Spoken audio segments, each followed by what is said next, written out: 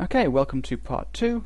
Uh, in this video we're going to finish off the template system and we're also going to code the login page, or well, the form that's going to be on the login page.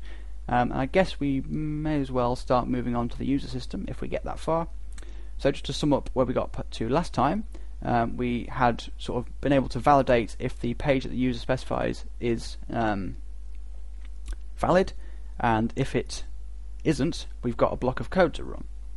Um, I just want to clear one thing up that I didn't really mention that well in the last part, is the reason we're using this method is that with the file exists way of checking it, because you could quite easily do if file exists. So essentially, instead of doing this in array check, you could do if empty get page or file exists, uh, and then the path that you're checking would be, um, let's see, it'd be core path, like so, slash pages slash um, what would it be? It'd be get page here, so get page dot page dot inc dot php, and that would work pretty much in the same way. It'd be checking to see if the page they've specified is actually, you know, it corresponds to a template file. The problem here is that you are using something that the user has provided to do a sort of security check. Um, using this scandir method, you um, do sacrifice a little bit of performance, so there's a sort of trade-off, um, but you make a fairly sort of, in terms of security at least, a sort of foolproof system, um, because there's no way that some sort of attacker could actually get a file into this folder, um, unless you've got like an unsecured upload form. Um, but we're assuming you haven't.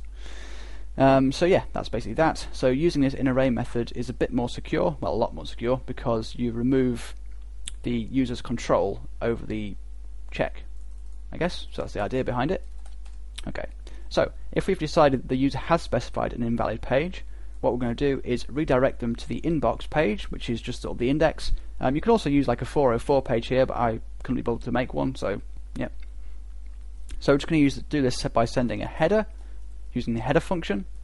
I'm going to send the location header to redirect the browser. I'm going to re redirect the browser to index.php and page equals inbox, which we know is a valid page. So this check will be run again when the page loads for the second time on the inbox page, and it'll pass, so it'll skip over this if statement. Um, and because we're redirecting the browser, there's no need for us to sort of connect to the database, which is going to be the next thing, and sort of run the rest of the code on this page. So we're just going to kill the script here by using the die function. And there is one more thing we're going to do. Because this um, check indicates that this page hasn't been found, or that they're trying to do something weird by not specifying this value, we're also going to send a HTTP 404 header, which will just sort of tell the browser um, that the reason that the user is being directed is because the page that they've requested hasn't been found. So it's just sort of a, something that you should I don't know, you might want to do. I've just sort of included it for the sake of it, really. But anyway, um, for interesting little thing to do. Anyway, so the way we do this is by using the header function again. So just in case you're wondering, you can send more than one header, just like by duplicating the line like this. And the header we're going to send this time is the HTTP uh, slash 1.1. So it's a bit of a weird header. I, I just looked this up on Google before doing this video. Well, no, before coding this whole thing. But anyway. Um, so the header follows 404 not found, but with spaces. Okay, there we go. So all that will do now is tell the, well, it sends the status code, the error status code, to the browser, because an error has happened. But anyway, that's enough of that. So that's our template system pretty much complete.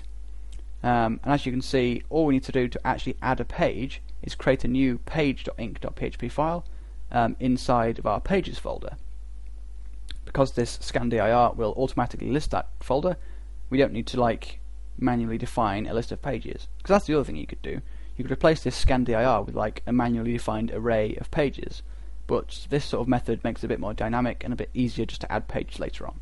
Anyway, that's enough of that. So let's go to the login page and sort of code the, well, code for that. So we'll go to the login.page.inc.php and we'll just code the sort of basic HTML here. So at the very top, we're going to have the page header in a h1 tag, which is just going to be login. Then underneath that, we're going to have a form to actually let you log in. So we're going to create a new form tag. Its action is going to be equal to index.php and page equals login and the method is going to be post. Uh, the reason I'm actually including the HTML of these pages, by the way, is that some of the other ones, the HTML is a bit sort of tangled up with all the PHP stuff. Um, I don't usually do the HTML. Um, this one is probably quite a bad page to start with because it's fairly, it's almost entirely HTML code. Anyway, so inside this form tag, we're going to have some divs to just sort of act as line breaks, more or less anyway. Um, and then inside each of these divs, we're going to have a input element. Uh, so the first one is going to be the username, so that's going to be type text and name of user name. And the ID also has to be username um, for a reason I'll explain in a moment. Okay, there we go. So above this, we're going to add a label, which is just going to sort of, well, it's going to be a label. It's just going to say name, where the user enters their name. So add a label tag here, and this label is going to be for the username element, and this for here corresponds to the ID. So that's why you need to give it an ID. And I usually just go with the same as the name. I'm not really sure why. So thing I've picked up, I guess. Okay, so that's our label tag. And if we just very briefly reload the page now, Oh, and go to the login page. Oh. Okay, that didn't work. Why didn't that work? Oh, okay. okay. Pro. Um, so, wow, okay. So now that we've defi decided that the user is actually on a valid page, i.e. after this if statement, we need to tell the sort of index page, the template file, which page to include. So we're going to define a new variable called include file. And this is going to be equal to a string, which is going to be the path to the file that needs to be included. So this is actually going to be what I used in that file exists check a moment ago. Um, this isn't too bad, I only forgot one line. Anyway, so it's core path slash pages slash and then the page name, which is get page. Oops, and then it's dot page dot inc dot php. Okay, so now the only the final step is to actually include this because at the moment all we're doing is telling PHP. Well, we're not even doing that. We're just defining a variable, which we're then going to use to tell PHP which to, which file to include. Um, so for the sake of testing, just for the final time, let me just do echo include file down here, and we can reload our page, and we should see that the file that will be included is my I'm not sure if that's any clearer, but the full full server path to the core folder. So this bit here is the value of core path. Then we have pages.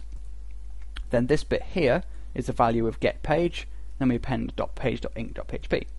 So we include the whole thing, put it all together, we get the path to this uh, page folder that I had open a moment ago. Page folder, um, login.page file. Yeah. So, final step is to, well, remove this and then go to our index.php and then in this block we're going to do include include file okay so now if we reload our page again we should see the form and the header so silly mistake aside that's now working so all we need to do next is add the form elements for um, well the rest of our oops the rest of our um, what am I saying? The rest of our form. So each element is going to be on a new line or in a div. So I'll just add these. And this one is also going to have a label. Actually, let's do the input first. Makes more sense. So the, this one is going to be the password, so it's going to have a type of password. And its name is going to be user password. Its ID is going to be the same, for the same reason as before okay and the label is going to be a label for the user password and its content is going to be password okay so that's that typos fixed and then in the final line um, we're going to have just the submit button so furious typing which is why I'm making so many mistakes so it's going to be input type of submit, and its value is going to be equal to login. Okay, there we go. So let's reload this once more. That's the reason I don't usually include the HTML, just by the way, um, it takes a long time to type out, and it's not that interesting. Hmm. Okay, so there we go. We've got a login form, um, and that is pretty much it for the template system now. Um, I suppose what we could do is, for the sake of testing the template system, we could include, we could also code out the HTML part of the logout page, which I haven't got open, but we can do that pretty simply. So if we just go to our um, code again, or actually I have to go to the folder to open the logout page. Let's just go into the core folder and pages and open logout. Okay, so this is our logout page, um, and all we need to do on this page is add a very simple success message, which is div class message. Um, and also we need to add a second class to this, which is done by doing this with a space, just separate them, and the message is going to be you have logged out. I'll explain these classes in a moment as well, so don't worry about that. Spell you right, and if we just reload our page now, I've already gone to the logout page. You can see we get this sort of slightly nice-ish looking box telling the user that they have logged out. Um, I think it said, I think it said you have been logged out last time, but never mind. So I'll just show you the styles that make up this um, box and we'll ignore my potential incorrect spelling of success. So let's go to the main.css, which is here, and we'll look scroll down to the message. So this message is being applied to the div that I just typed out, and so is this success here. So the message, um, because we're having two, we've got two types of message. One is errors, and one is you know good things. So red and green. Um, so the message just gives it a margin to sort of move it down on the page a little bit, and the padding to make it look a bit bigger, and then it gives it some radius to make it look kind of nice. And then the success thing here just gives it a sort of darkish green border, and also this big huge thing here is how you define a background gradient in CSS. Um, it's compatible with all browsers. I got this from a website. Uh, if you Google cross-browser CSS gradient generator. The website that generates this is probably the top one. Um, but essentially, you put in the colors you want and then just copy and paste the CSS across. So yeah, that's what all this does. Um, the there isn't actually a compliant version, I don't think. Mm, anyway, uh, so that's pretty much that. So now we can just finally demonstrate the last bit of the template system, which is that we have two pages. So we can go to log out, which is this page, and we can go to log in, which is this page here. Okay, so that is the end of part two, and in the next part we're going to code the login system. So part three will include some database stuff. So if you're bored of me trying to sort of fumble my way through explaining CSS and HTML, then um, well, I'm sure you'll enjoy part three a little bit more. Okay, so thank you for watching, and come back for part three.